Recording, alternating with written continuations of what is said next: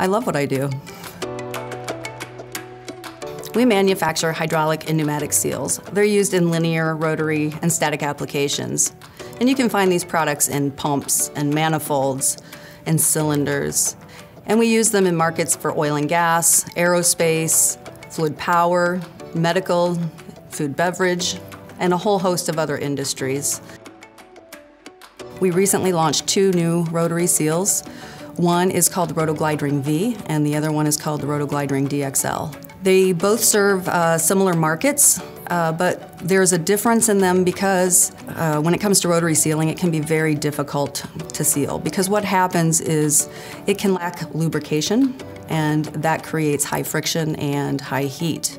And what then can happen is the part of the seal rotates in the groove and causes early failure. I chose this line of work because it's a mix of all of the knowledge that I've gathered between R&D, sales and marketing, and manufacturing.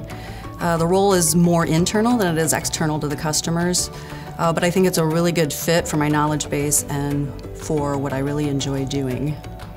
My focus is working with the product managers from the different manufacturing plants located in India, China, California, Fort Wayne, and Brazil. I personally visit every location uh, that I'm responsible for and uh, locations that I'm not responsible for. Uh, we spend a lot of time doing best practices, and part of that is making sure that if somebody is doing something really great, that we can replicate that in the other factories. Once everyone gets to the same level of performance, then we start driving for what's next. Where do we go? How do we get better? How do we achieve more? What I like most about my job is the ability to travel around the world, to see different cultures, to meet different people. It really opens up my mind to think differently about what kind of solutions we're creating, how we can take information from different parts of the world to create new ideas.